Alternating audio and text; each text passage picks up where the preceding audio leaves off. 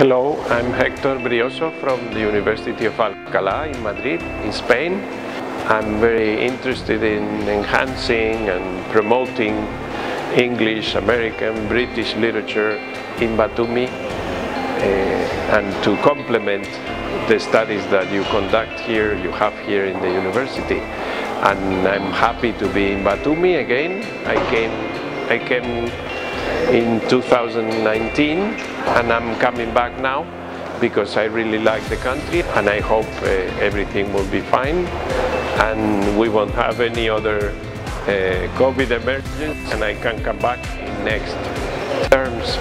I believe and I'm sure about the, the University of Batumi is a very, very uh, well organized institution and I like the atmosphere, the way you meet here, all the professors, all the students and the way things are very well appointed and very, frankly speaking, very well organized, very interesting the way you do things here.